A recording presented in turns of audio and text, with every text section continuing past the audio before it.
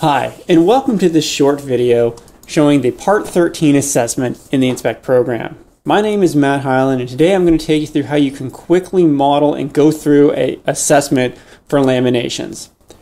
So in front of you is our sample model that I'm going to be using, and you'll see I've got multiple flaw types set up on this, everything from uh, HIC damage to blisters to metal loss to pitting.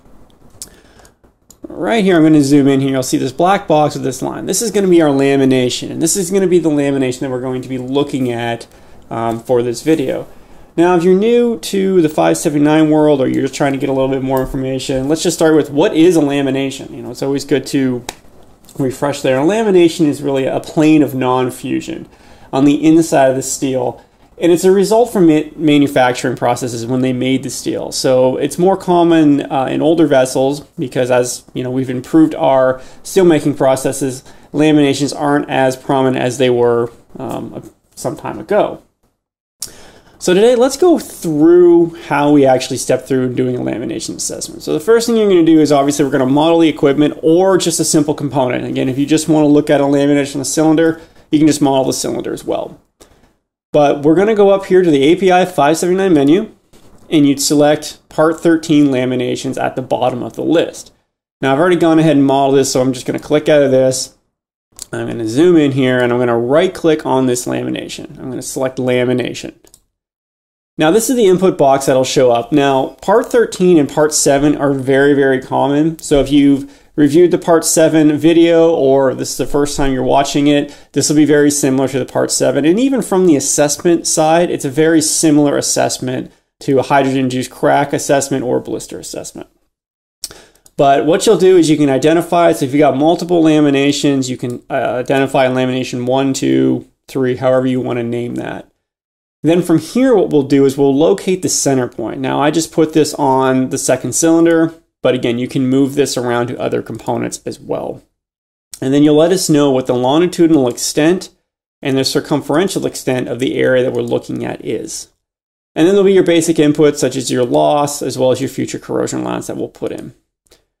Now I'm going to go ahead and perform a part 3 brittle fracture assessment. Now Inspect does have the capability to do an entire part 3 brittle fracture assessment for the whole vessel, but if, again, if we're just looking at a component, we want to make sure we check this option so that we can prove that there's sufficient material toughness if, for example, we wind up in a level 2 assessment.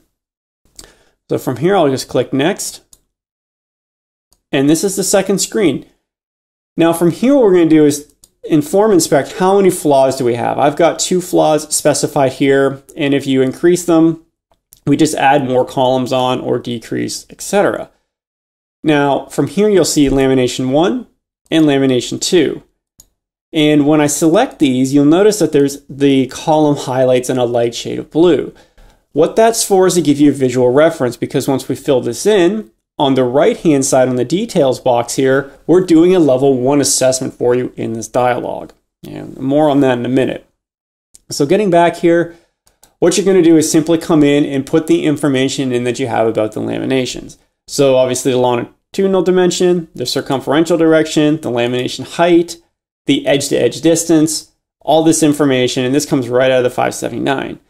Now, if you're, you're, you're in a rush or you're not sure, we do have graphical images here, as you can see down here, showing you what these dimensions mean. So it's a nice quick reference for you as well. And there'll be things such as the joint efficiency, as well as where is this located as well. Is it in the base metal, a weld seam, or heat affected zone?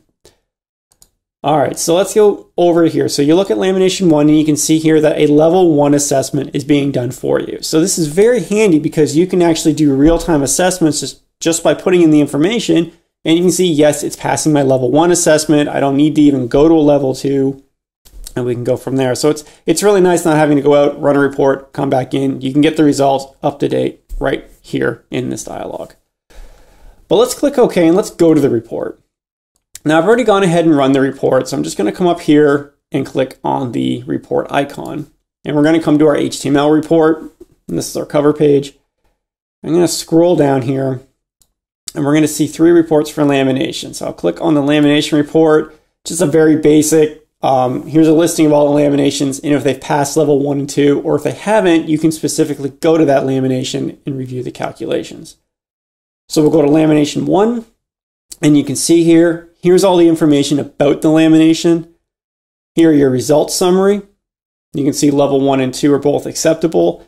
But if you want to uh, check anything, all of the calculations are laid out for you. So you can follow along so you can see exactly the numbers that we're using.